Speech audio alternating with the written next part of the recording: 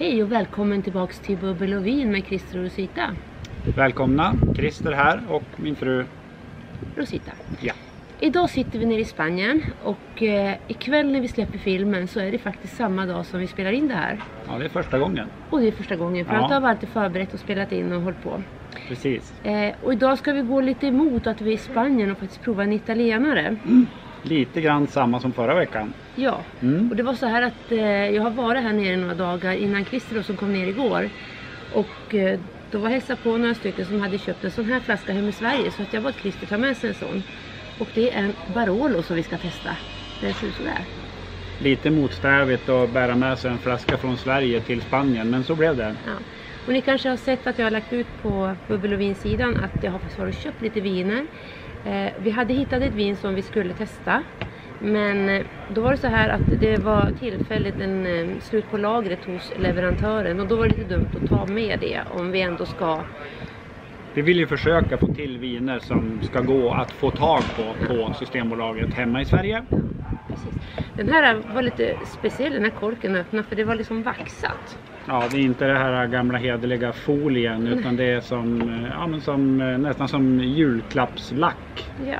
Någonting åt det hållet. Vad är det för vin vi ska dricka nu då Kricka? Ja men det är ju Barolo då, heter den ju rätt upp och ner. Barolo kommer från nordvästra Italien, uppe i Piemonte som det heter. Mm. Och Eh, den regionen ligger med tre sidor mot Alperna. Ja. Och sen öppningen då vetter ju ner mot Medelhavet fast det ligger lite på höglandet. ja. eh, druva 100% Nebbiolo. Mm. Nebbiolo är ju, betyder ju... Ja, Nebbia eh, ska ju betyda, det betyder dimma, vilket är väldigt vanligt i det här området. Ja. Hur luktar den? Luktar jättebra. Underbart. Eh, Barolo Eh, har ju en, ska vi kalla det för syster, Barbaresco. Men det här är Barolon som vi ska dricka som är ifrån eh, en odlare som heter Enzo Bartoli. Mm. Och Enzo Bartoli det är ju en snubbe då som levde i slutet på 1800-talet. Och då var han väldigt hängiven att se till att det skulle bli eh, bra viner. Han jagade liksom efter det här perfekta med smak och jord och allting för att få till Mm. en, en riktig kanon. Och han har tydligen lyckats. Ja. Och druvan då, Nebbiolo-druvan, har Ja. vi, det har vi också kollat lite mer om nu. ja, Den är ju det är ju väldigt tunt skal på den och en ganska känslig druva och kanske inte riktigt rätt druva för att odla i sånt här klimat som då kan Nej. vara väldigt det kan vara både kallt och varmt och allting. ja, och den ska ju den har ju liksom en lång mognadsprocess så att det är ju därför som den är eh, knuten till det här området eftersom det är ju inte de här tokvarma eh, områdena, tokvarma eh, perioderna utan Nej. den, är, den eh, odlas i en lång tid och den skördas sent i oktober oftast. I alla fall så såg jag nu när jag tömde upp det här vinet var väldigt, väldigt tegelfärgat. Mm. Ja, det, precis. var, det var ju nästan lite orange. Ja, Och, ganska genomskinlig. ja, Mm. vad doftar den då? Ja, vi ska se.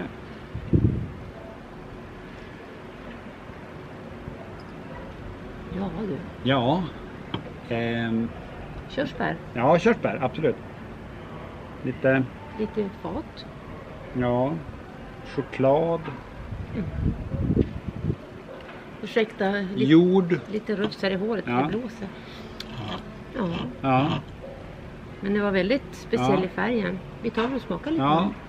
Ganska genomskinlig ändå. Jag, jag blir Ja. lite överraskad. Den var ordentligt genomskinlig. Ja. Vi provar.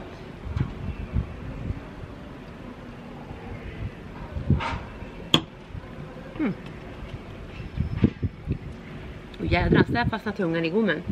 Ordentligt strävhet. Mm. Mm. Gott. Men gott. Mycket. Jättegott. Mm. Mm. Mm. Det var jättebra. Den var väldigt bra. Mm. Det, var, det är väl en sån här som, som alltså ju längre du har den i munnen Ja. desto strävare blir den. Ja. Mm. Och så kan jag tänka mig att den, den vinner lite på att luftas också.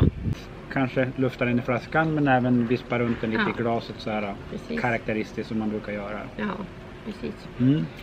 Eh, och smaken då? Det var lite choklad tycker jag. Ja det var det. Och så är det lite jordgubbe. Den fick jag fram. Jag som gillar jordgubbar Mm. tyckte det här var bra. Ja. Körsbär. Eller ja, det här klassiska, röda frukter. Men, Röda- röda men, bär. Röda bär ja. Mm. ja. Ja, med körsbär verkligen. Med körsbär. Mm. Nästan lite sådär, vad heter de? De här röda Bigarråer. bigarråer, Mm. lite mörkröda bigarråer. Ja, precis. Nästan lite övermogna. Ja. Mm. Ja, och idag tänkte vi då testa till det här. Vi har bara helt enkelt, i och med att det är i Spanien och vi hade, hade liksom en italienare, jag tänkte vad hittar vi då? Så det vart en lite parmesanost. Och så har vi gjort lite olivolja här med lite gör och lite bröd bara. Så det var väldigt, väldigt enkelt Mm. idag. Men jag tror att egentligen är det väl osten jag vill testa den emot. Ja, men det är en sån där klassiker som man brukar ha Ja. till de här röda vinerna. Parmesan. En härlig... mm, Ja, Olja och lite bröd. Ja, och så en baguette. en baguette ja, eller panrish eller någonting Mm. sånt där. Rustica heter de här nere. Jajamän. Mm. Vi ska se. Mm.